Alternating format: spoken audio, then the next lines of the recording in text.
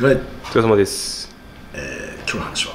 はい。サムネ通り暗い話だけど。はまあちょっと使うのもどうしようか迷ったけど、まあ、結局使うんだろうお前らって言ってコメントがあれそうだけど。去年さ、いはい。まあ、みんなし、まあ、うちの社員はみんな知ってるんですけど、はい。まあ、視聴者の皆さんにちょっと話したいなと思うのはさ、まあはい。年末にかけて、はい。まあ、10月9月ぐらいかな最初の人が辞めるって言ったのは。はいで結果まあまあその人たちとまあつながっとる云々があって、はい。まあ、ジムがほぼ全員だよね。6人中5人。はい。退社しました。はい。まあ暗い話なんであれですけどはい。まあ何って、まあ、なんでこれ動画にしようかなと思ったらまずお客様にはやっぱ迷惑かけるし、はい。まあ、社内にも迷惑かけとるんだよね。はい。でまあ原因は何っていろいろあると思うんだけどちょっと参考にしてほしいなっていうのはやっぱいろいろコメント欄にさよく経営者から連絡来るで、ね、勉強になりますとか、はい。まあ、社員が飛んだとか、はい。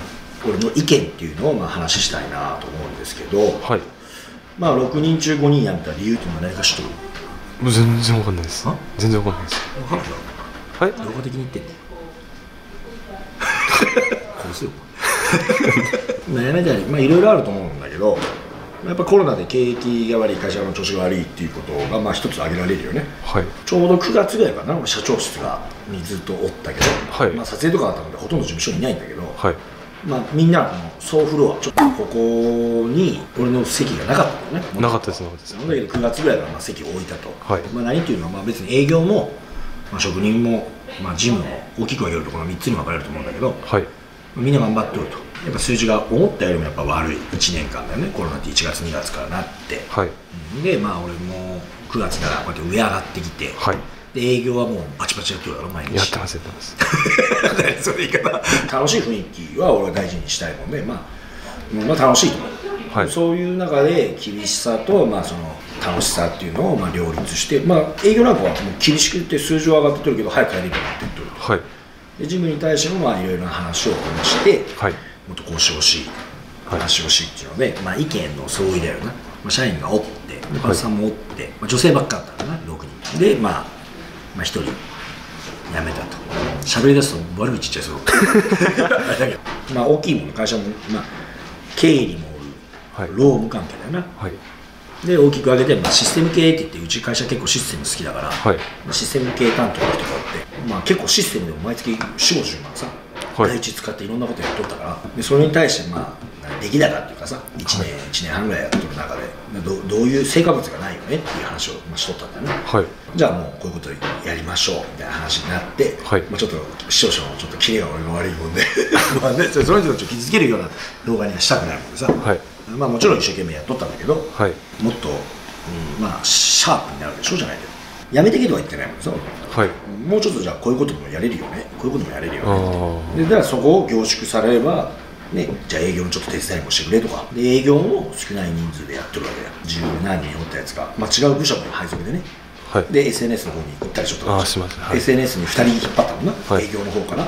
で SNS って今やればやるだけ結果が出るっていうかやりたいこといっぱいあるから、はい。そのでサイトとかいろいろ作り始めたの求人、求人のマッチングだろ、はい。求人のマッチングっていうのはお客さんとあー求職者と建設会社そうあのをつなぐっていうマッチング、まあ、今もやってるんでそれ無料でやれるんでぜひ登録してほしいんですけど、はい。それと外気塗装と外気塗装の悩んでるお客様と業者だよな、はい。を直接つなぐ。でこれってすごいお金取られてたんだけど、まあ、無料でやれるっていうものを作ろうと、まあ、SNS で広告できるからね、はい。YouTube で広告できるんで、まあ、経費かかんないから、まあはい、必然的に安くなると思うんだけど、はい。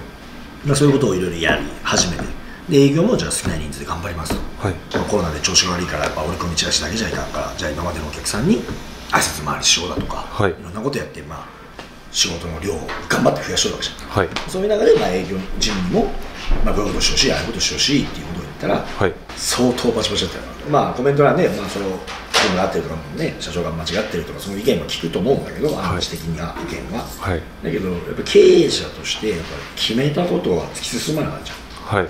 これ一つ話したいなと思うのはさ一人親方の子とかさ、まあ、今日も来とったな。やっぱ仕事暇でって求人が来て YouTube 見て、ね、来てくれた子今日ちょっと30分ぐらい朝喋ったんだけど、はい。今仕事暇ですと。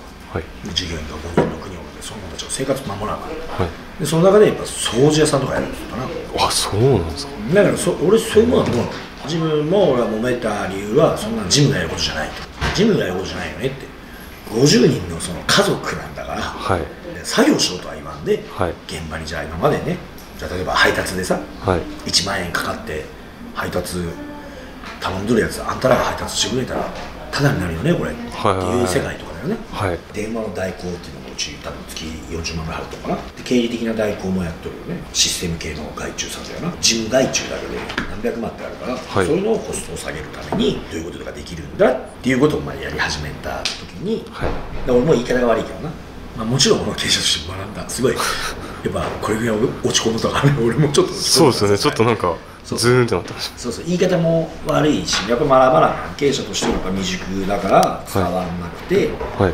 まあ、意見の相違になるわけじゃん。で営業とか職人って俺結構関係が深いじゃん。酒も飲んだりいろんな関係するからじゃあ俺はこういう方向に行きたいって舵取った時にみんながああじゃあ一緒にその舵の方に行きましょうって動いてくれるものもあるじゃん、うん。まあ、事務所に関しては本当にまあ衝撃だよ全員辞めてて本当に空洞になった事務所びっくりしましたね本当に。で本当に今すごい大変。じゃあ誰がその事務所やってんのって言ったら今、まあ、求人に一人入ったのと、はい。リリーちゃんとねと、まあ、SNS で撮ったあのレイニちゃんってことだよね、はい。でまあ一回もうそれからこっちでもう一回やるもんではい。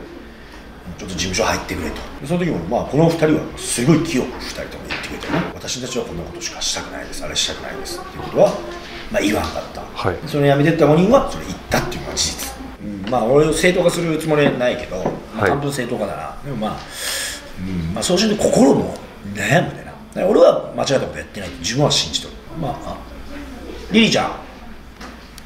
ちょっといい？ジムやってどれぐらいだようん3ヶ月ぐらいです。あもう3ヶ月になるか。はい。なので、はい。3ヶ月。だから人事系のことだよね。採用関係もそうだーブとか人事とかですね、うん。はい。でちなみにまあリリーちゃんとあのレイミちゃんがね、はい。で新しい子が1人と、まあ、おもともとおったそのパートさんで、はい。今4人なんだけどはい、はい。回っとるねそうですね回ってますね。結構残業はしてくれてるよね。まあちょっとまだあんまりもう分かんないことが多いから、っていうのもあるんでどうどうやったら早く終わるのかみたいなのがまだ分かってないっていうのがあると思うんですけど、うん。まあ慣れてこればパパって終わらせれるようになるんかなみたいなうんいきなり俺がジム入れって言った時にどう思った？いやまあジムやってって言われると本当に思ってなかったんでうんうん。もうもうよ予想外っていうかもう斜め上のなんか おうあそっちみたいな感じでしたね。でもえ？本当にできる自信もあんまなかったですねなんうん。か、ちょっと SNS が軌道に乗りかけた時だったもんねいろいろそうです。ねやったり、はい、ねインスタもやっとったね、はい。で YouTube の出る回数も増やしてくれて。はい。いろいろやっとる中ではい。まあまあ3ヶ月事務所入って。で、まあ、特にねまた動くのが好きだって言っとったですよね。いやそうですね。なのでそんな そうできるんかなとはほんまに思いましたね、ジム3ヶ月ぐらい入ってまあ本当に大変？いや大変ですね。なんかもう、うん。またあれですね、うん。あの営業におった時とはまたちょっと違う大変さ。うんっていう感じですね。でちなみにさ、まあ、はい。レンジャーで動画出れへんもんであれだけどどう？そのみんなで話してる中で、はい。まあ、結構ねやったことないもんね。経理もやったことない。いや本当にやったことない領やったことない域です。はい、うん。でまあ引き継ぎもまあねあの時まあ正直、まあ、1ヶ月でみんな急にねはい。1ヶ月やめ1ヶ月やめ。まあまあ法律上1ヶ月で辞めれるから、はい。もちろんそのねその中では一生懸命やってくれたんで俺も、まあ、文句言うつもりはいきなり明日が来ませんっていうこともなかったし、だけどまあね3ヶ月2ヶ月引き継ぎではもうちょっとねあれだけど。そうですねバーッと教え込まれたっていう感じはすごかったですね、う本当に。い大変？そのみちょっとは慣れてきたんですけど。のからへんも全員で。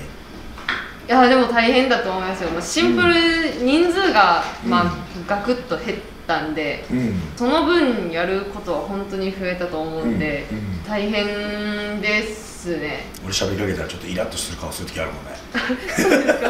私は本当にそんなことないですよ。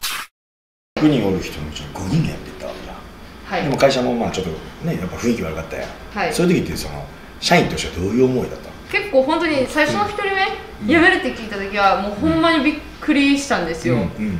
まあ、その人は結構お昼ご飯の時とかも結構喋ってくれる人だったんで、うんうん。でも本当にびっくりですし、うん。えやめちゃうの？とはなりましたね、うん。うん。からそっからねだれ込んでたよ。バーって。ねでも本当にびっくりでも俺も会社でしたこんかったしね、まあ、俺もまあ、まあ、自分が不甲斐ないんだよもちろん経営者として不甲斐ないからこういう結果になったと思うんだけどあの俺ももうね顔見てもなんかもうギクシャクするもんで。あだからね辞めるって言って残ってくれることはありがたいことだし、はい続けることはありがたいことだけど辞めるっていう人と俺会うの苦手だから俺はね。なんかそういう中でさもう雰囲気悪いわけじゃん、はい。で俺もこうへんし。まあ来とったけど、はい。もう俺が来たらシーンってやったよねあの時ね。ピタッと思ったよね会話がね。もう本当に修羅場だよねでまあ女性同士さまあよくもあるけどね。やっぱ女性同士仲いいからジムはジムでね。うん。だからそのやっぱグループみたいな感じになってるから、はい。集まってるわけよ。俺も帰ってくるとな。で俺がフィューって入るとさあゴリゴリって避けるわけよ。正直、まあ、こうやって怒ったことある。じゃあ悪口言うのはええんだけどって俺の見えんとこでやれよって言って、うん。でまあじゃあ社長の悪口は言ってないと。まあねそうそうなんだろうな。悪口は言ってなかったと思うんだけど。で俺もそれで勘違いするじゃん。で俺もそれをことをこと。でそんなふうにされたらもう俺の悪口だと思うでしょ、俺もその人間なんだからみたいな感じで。まあまあガチンコでわーって言ってたよね多分みんなの前で。こんな冷静にいたよ。視聴者の皆さん。ではい「お前は」っつって「さあシャー何とかなんだ。こそこそ話なんだねキュッ!」今3ヶ月4ヶ月だね最初の人が辞めてから。はい。でまあ今ちょっとまだ始まったばっかりだから実質。うん。なかなか分かんないけどりんちゃんとかさまあね新しい子入って、はい。まあ、新生3人プラス、はい。パーツさん1人4人組だよね、はい。の中でどういうふうにあのいい方向に行っとるなーって感じるのか。最初まあ事務所に入った時は、うまあ教えてくれる人ももうすぐ辞めるからってバーって教えてもらって、うん。うん。でもとりあえず教えられたことをバーってやることしかできなかったんです意味がわからんからとりあえずも機械的に教えられることをやるみたいな感じだったんですけど、まあ、だんだん分かってきたらこれ別にやらんでよくないみたいなこともちょいちょいあったんで。うん改善の場所がいっぱいあるかなっていう改善の場所がいっぱいあるしやっぱ慣れてきたからこそ、うん。これ改善できるんじゃないんかなあみたいな考見えれるようにそう今まではもう機械みたいなもうとりあえずやる あの時は分かったよね。なかったんでちょっと考えれるようにはなってきてるとは思います、会社の雰囲気としてはどう？いやでも本当雰囲気に良くなった？いいいいと思いますよ。なんいやかそうやって言ってもらえるのが一番嬉しい。のなんか会社が、うん今年1年なんか、、はいい方向に伸びていくのかなっていう感じはしてんだけど、はい。どうなのかなってじ、ね、実際に。まあよよくします。私。たちおー。雰囲気はでも本当に、うん。その私たちが操作できるものではないと思うんですけど、でも本当に雰囲気はいいと、あでもさ雰囲気は作ってるし結構ねリリーちゃんも結構喋ってるし。いや思います思います。喋ってるし。いや楽しそうに喋れてるのはその、まあか関係が変わったから。あーあそういうことか。あやばい。俺歯医者だ。あ45本当ですか分に皆さん歯医者なので。はい あと7分しかねえわ。また怒られる。